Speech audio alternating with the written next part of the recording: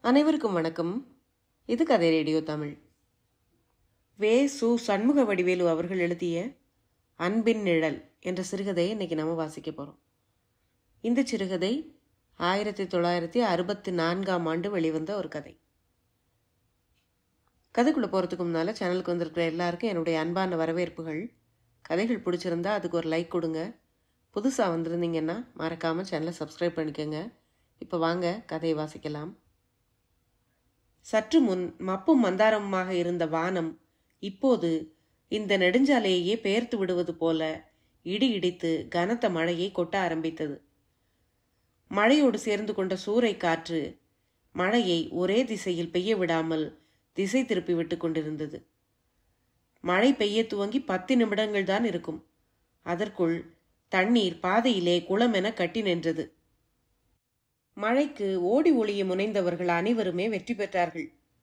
ஒருவரை தவிர மழை தூர ஆரம்பித்த போதே பாதையில் காலெடுத்து வைத்துவிட்ட சாமா சாஸ்திரி மழை இவ்வளவு கனத்தும் கூட பாதையிலிருந்து ஒதுங்கி ஓரிடத்தில் ஒண்டி நிற்கலாம் என்று நினைக்கவில்லை. கோலை ஊன்றி நடக்கும் இந்த காலத்திலும் கோபத்தை மூக்குக்கு மேல் வரவழைத்து கொண்டு தன்மான உணர்வோடு பிறருடைய உதவியை எதிர்பாராமல் வாழ விரும்பிய சாஸ்திரிக்கு காலம் என்றுமே ஒரு படியாக இருந்து நல்ல வழி காட்டவில்லை. சாலையிலே தள்ளாடி தள்ளாடி அவர் நடந்து கொண்டிருந்தார். அவருடைய உடலும் உடையும் தெப்பமாக நனைந்திருந்தன. நெற்றியிலே இருந்த சந்தனப்பட்டை கூட கரைய ஆரம்பித்து விட்டது. இப்படியே இன்னும் ஒரு ஃபர்லாங் தூரம் வரை நடந்தால் அந்த ராஜேஸ்வரி அம்மனின் சந்நிதியை அடைந்து விடலாம். பிறகு மழைக்கவலை கவலை இருக்காது. ஆனால் மனக்கவலை? அந்த கனத்த மழைக்கு இடையேயும் மிக வேகமாக அந்த பாதையிலே வந்த சரக்கு லாரி ஒன்று சாஸ்திரியின் மேல் நீரை இறைத்துவிட்டு சென்றது. ஒரே வினாடியில் சாஸ்திரி தட்டு தடுமாறி முக்கி முனகி மீண்டும் கண்ணை திறந்து பார்த்தார். அவருடைய கண்களுக்கு இடைவெளி இல்லாமல் கம்பி போல் பொழியும் மழைத்தாரைகள் மட்டுமே தெரிந்தன. மலையோடு நனைந்து கொண்டு வரும் சாஸ்திரியை கண்டதும் ராஜேஸ்வரி அம்மன் சந்நிதியின் குருக்கள் ஐயோ என்ன சாஸ்திரிகளே மழைக்கு கொஞ்ச நேரம் ஒதுங்கி நின்றுட்டு வரக்கூடாதா? இப்படி தெப்பமா நனைஞ்சு போயிட்டீங்களே என்றவாறு ஓடி வந்து கைத்தாங்களுடன் அவரை கோயில் மண்டபத்துக்கு அழைத்து போனார். மழையில் முற்றும் நனைந்துவிட்ட சாஸ்திரியால் பேச முடியவில்லை. ஈர வேட்டியை அவிழ்த்து மாற்றும் தெம்பு கூட இல்லை. அப்படியே ஒடித்து போட்ட சோழக்கதிர் போல் மண்டபத்தில் கீழே சாய்ந்தார். என்ன சாஸ்திரி? போகும்போது மகன்கிட்ட போறேன்னு நல்லா தானே போனீங்க? இப்ப ஏன் இப்படி நனைஞ்சிட்டு வந்திருக்கீங்க? குருக்களின் கேள்வி சாஸ்திரிக்கு எட்டவில்லை. அவன் நல்லா இருக்கணும். ரொம்ப ரொம்ப நல்லா இருக்கணும். அம்மனை ஏறிட்டு பார்த்தபடியே சாஸ்திரி முனகினார். யாரையா சொல்றீங்க? விஷயத்தை கொஞ்சம் வாய் திறந்து சொல்லுங்களேன் என்று கேட்டார் குருக்கள். ஆனால் சாஸ்திரி வாயை திறக்கவில்லை. ஆமாம் அந்த வினாடிக்கு பிறகு சாஸ்திரி தன் வாயை திறக்கவே முடியவில்லை. அவருடைய வாய் நிரந்தரமாக மூடிவிட்டது. இருபது வயதில் தாசில்தார் அலுவலகத்தில் குமாஸ்தாவாக சேர்ந்த சாம்பசிவம் தனது ஐம்பத்தைந்தாவது வயதில் ஹெட்லார்க்காக ஓய்வு பெற்றார். அவர் ஓய்வு பெறுவதற்குள் முதுகு கூன் விழுந்து கையில் தடியூன்றி சோடா பாட்டில் கண்ணாடி போட்டு கிழிந்த கோட்டுடன் எவ்வளவு அனுபவிக்க வேண்டுமோ அவ்வளவு துன்பத்தையும் அவர் கரை தொட்டு விட்டார். ஐம்பத்தைந்து வயதில் அலுவலகத்தை விட்டு நீங்கும் போது அவருடைய பெயரில் இருந்ததெல்லாம் சேமிப்பு பணம் என்ற பெயரில் ஒரு நாலாயிரம் ரூபாய்தான். அதை வைத்தே ஜீவனம் செய்ய வேண்டிய நிலை அவருக்கு இருந்ததே தவிர ஐம்பத்தைந்து வயதாகியும் தனக்கு சம்பாதித்து போட ஒரு பையனை பெறும் பாக்கியத்தை அவர் செய்திருக்கவில்லை. ஆனாலும் அவருக்கு குழந்தை பாக்கியம் என்னவோ அதிகம்தான். ஐந்து பெண்கள் பிறந்தால் அரசனும் ஆண்டியாவான் என்ற பழமொழி சாஸ்திரிக்கே பொருந்தும். முதல் ஐந்தும் பெண்களாகவே பெற்று தள்ளிவிட்ட சாஸ்திரி சந்தான பாக்கியம் காரணமாக தன்னையே சலித்து கொண்டாலும் முயற்சியை மட்டும் கைவிடவில்லை. கடைசியில் அவருடைய முயற்சி திருவினையானது. அவரது ஐம்பதாவது வயதில் ஒரு ஆண் குழந்தை பிறந்தது. அந்த குழந்தைக்கு அவர் குணபாலன் என்று பெயரிட்டார். மாதா மாதம் முதல் தேதி வரும் சம்பளத்தை தவிர மேல் வரும்படி எதையும் ஏறெடுத்தும் பார்க்காத சாஸ்திரி தனது ஐந்து பெண்களையும் திருமணம் செய்து கொடுப்பதற்குள் பட்ட சிரமத்தை அந்த ராஜேஸ்வரி அம்மன் தான் அறிவாள். ஆனால் மருமக்கள் எடுப்பதிலே சாஸ்திரி சோடை போகவில்லை. எல்லோருமே மணியானவர்கள்தான். தான் ஓய்வு பெறுவதற்குள் ஐந்து பெண்களையும் வீட்டை விட்டு அனுப்பிவிட்ட சாஸ்திரிக்கு தனது ஐந்து வயது மகன் குணபாலனை வளர்க்கும் கடமை ஒன்று மட்டுமே எஞ்சியிருந்தது.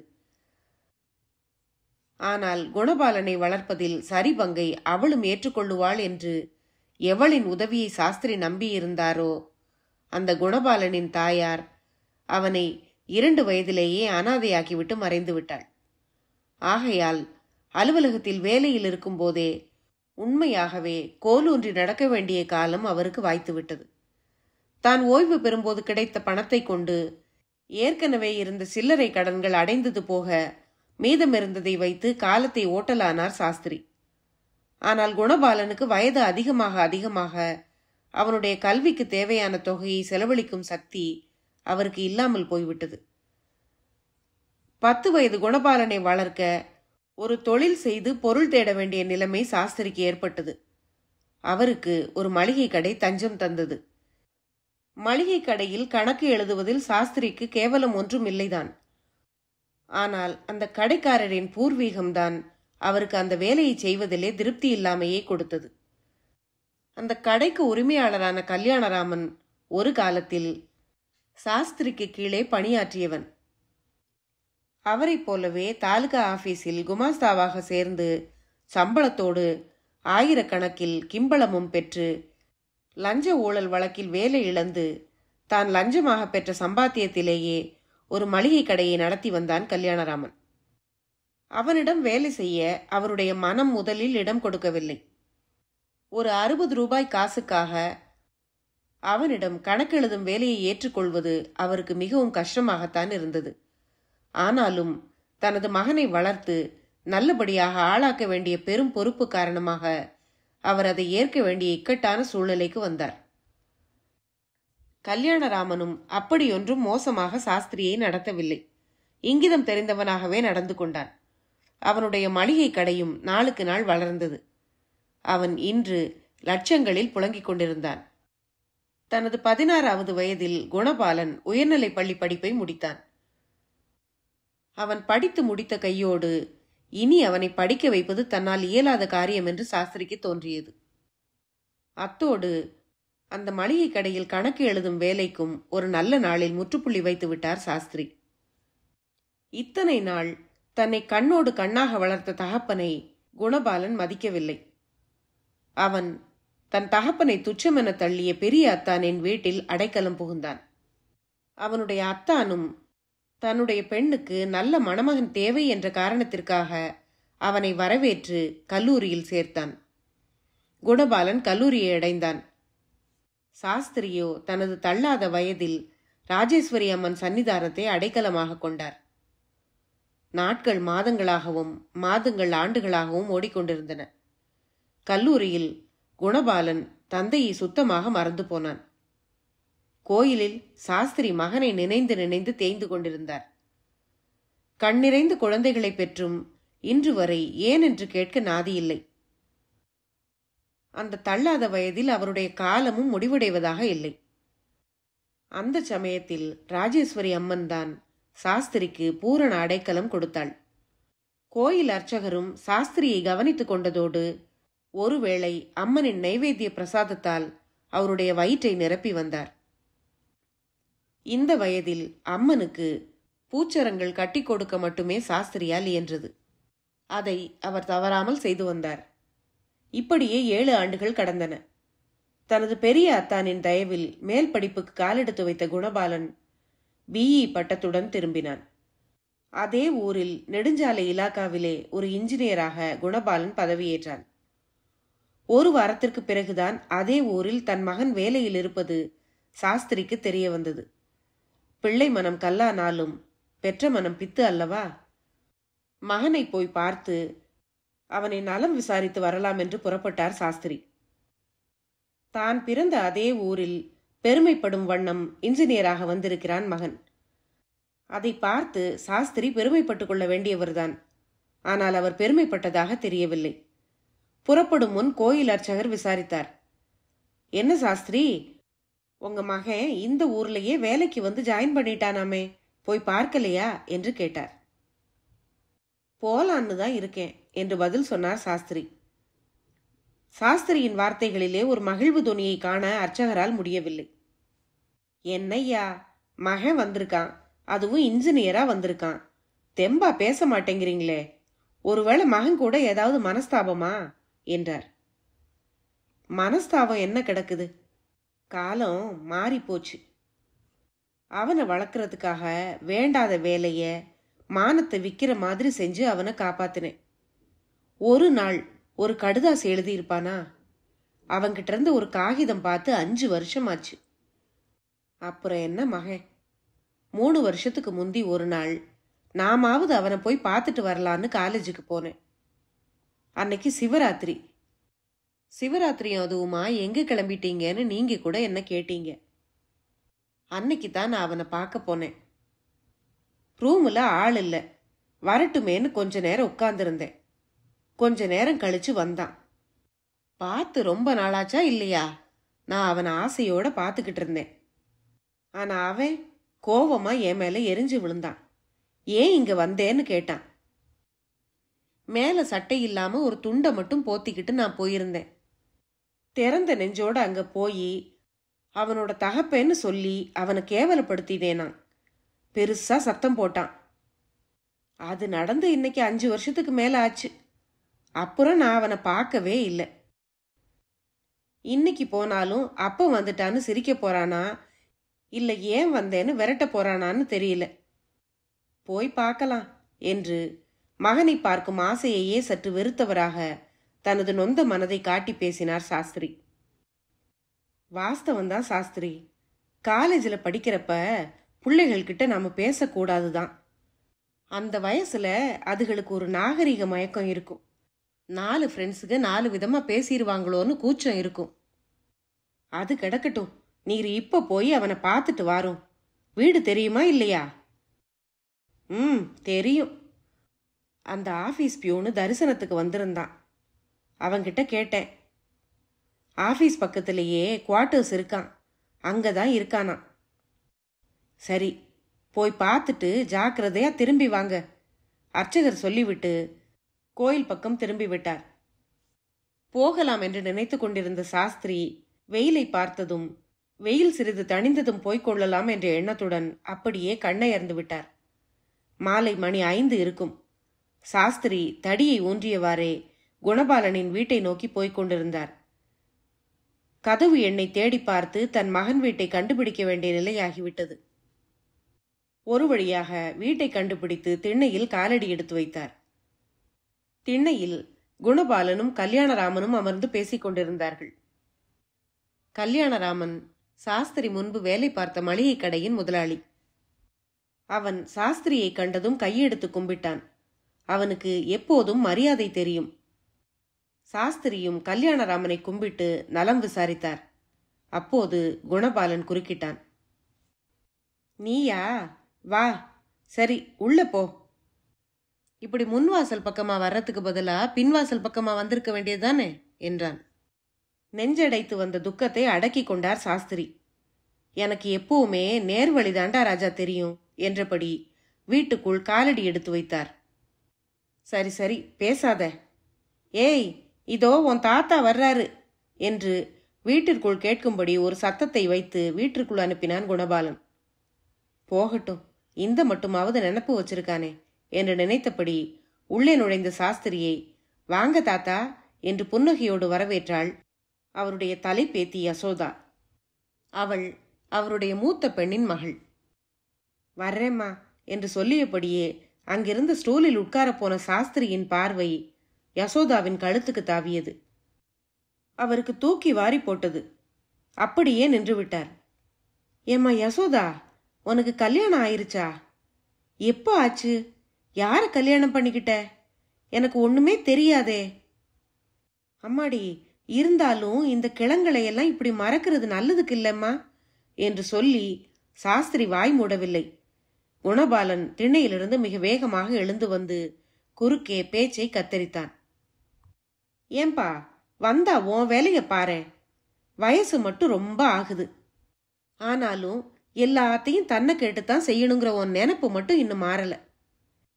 யசோதாவை நான் கல்யாணம் பண்ணிக்கணுங்கிறதுக்காகத்தானே பெரியாத்தான் என்னை படிக்க வச்சாரு? இது உனக்கு தெரியாதா? ஏதோ புதுசா கேட்குற மாதிரி நடிக்கிறியே. வயசு ஆக ஆக புத்தி மந்தமாயிருமா? நீ என்ன என்னை ரொம்ப படிக்க வச்சிட்டியா? இல்ல கல்யாணம் பண்ணி வைக்கிறதுக்கு ஏதாவது மூட்டை கட்டி வச்சிருக்கியா? குணபாலனின் பேச்சை கேட்க கேட்க நெருப்பின் மேல் நிற்பதை உணர்ந்தார் சாஸ்திரி. ஏன்பா உனக்கு கல்யாணம் ஆயிருச்சா? அட பாவி நீ எனக்கு ஒரே மகன். உன் கல்யாணத்தை பார்த்துட்டு கண்ணை மூடலான்னு நான் காத்துக்கிட்டு இருந்தேன். பெத்த தகப்பனுக்கு கூட தெரியாம இந்த சதியை செய்ய எப்படிடா உனக்கு மனசு வந்தது? நீங்கெல்லாம் மனுஷங்க தானா?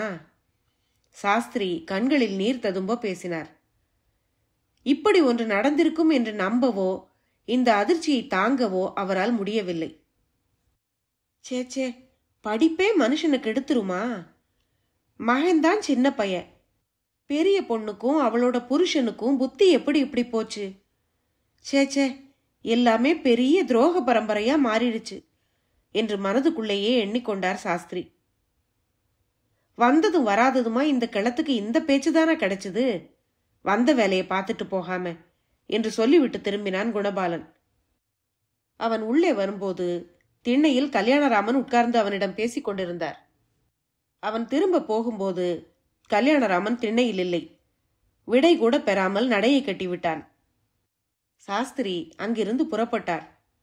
குணபாலனின் பொல்லாத செயலை கண்டிப்பது போல வானம் தூர ஆரம்பித்திருந்தது. தூரலை கூட பொருட்படுத்தாமல் தடியை ஊன்றியவாறு திண்ணையை விட்டு இறங்கி நடந்தார் சாஸ்திரி. மகனோ பேத்தியோ அவரை தடுக்கவில்லை. அவருடைய கால்கள் ராஜேஸ்வரி அம்மன் சந்நிதியை நோக்கியே நடந்தது. அவள் ஒருத்தி உயிரோடு இருந்திருந்தால் இப்படியெல்லாம் நடந்திருக்குமா? என்று தன் மனைவியை நினைத்து கொண்டார் அவர்.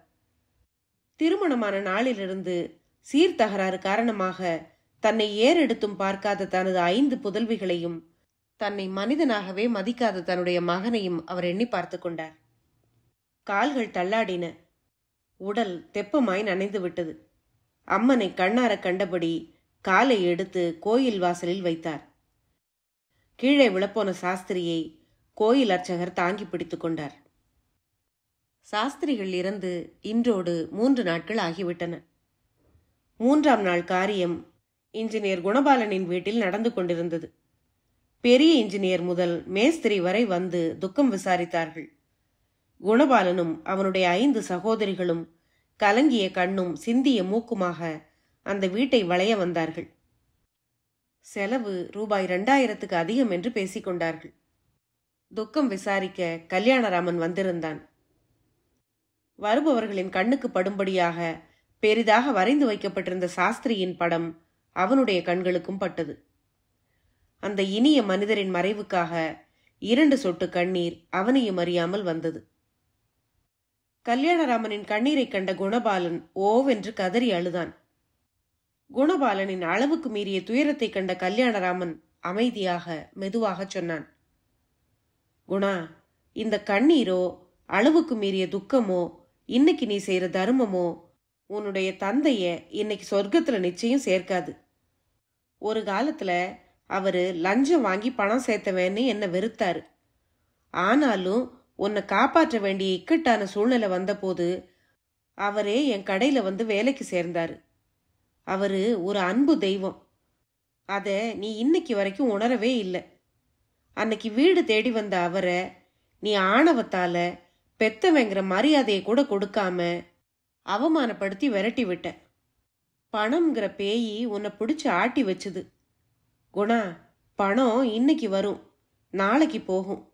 ஆனா மனுஷன் இன்னைக்கு இருக்கிற மனுஷனை இழந்தா நாளைக்கு அவன மாதிரி ஒரு மனுஷன் கிடைக்கவே மாட்டான். என்று கல்யாணராமன் சொன்ன வார்த்தைகள் குணபாலனை இப்போது உண்மையான கண்ணீர் வெள்ளத்திலே மிதக்க வைத்தது. அந்த கண்ணீராலேயே அவன் தன் பாவத்தை கரைத்து கொண்டான். நாளை பிறக்கப் போகும் தனது பையனுக்கு சாமா என்று தன்னுடைய தந்தையின் பெயரையே வைக்கப் போகிறதாக அனைவரிடமும் இப்போதிருந்தே குணபாலன் சொல்ல ஆரம்பித்து விட்டான். அவனுடைய கனவு பலிக்கட்டும். கதை முடிவடைந்தது. இந்த கதையை பற்றிய உங்களுடைய கருத்துக்களை மறக்காம கமெண்ட்ல சொல்லுங்க. அடுத்த பதிவில் இன்னொரு சுவாரஸ்யமான கதையுடன் சந்திப்போம். நன்றி.